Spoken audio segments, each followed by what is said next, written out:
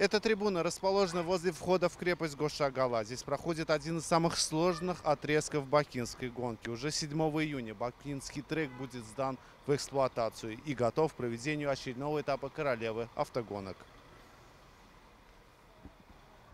Протяженность бакинской трассы составляет чуть больше 6 километров. Она включает в себя 20 поворотов, 8 и 9 из которых представляют наибольшую сложность для участников заездов. Завершены уже 90% работ. 7 числа трассу осмотрят представители Международной Федерации автоспорта, которые проведут окончательный анализ каждого участка трека в столице Азербайджана.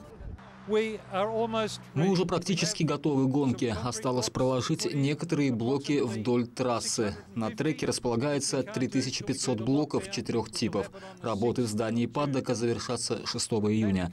Тут, можно сказать, проделано 99% работ. Там будут располагаться команды участницы заезда.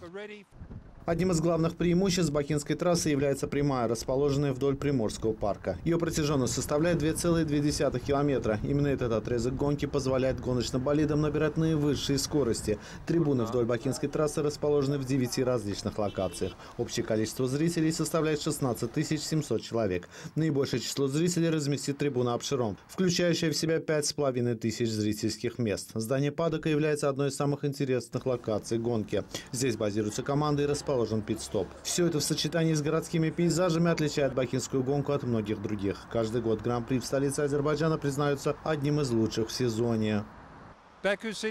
Ни один трек не сравним с бакинским. Эта трасса, проходящая вдоль Черечагер, это вид на здание Flame Towers, красивый отрезок возле здания правительства. Это магия. Остается просто прийти и наслаждаться гонкой.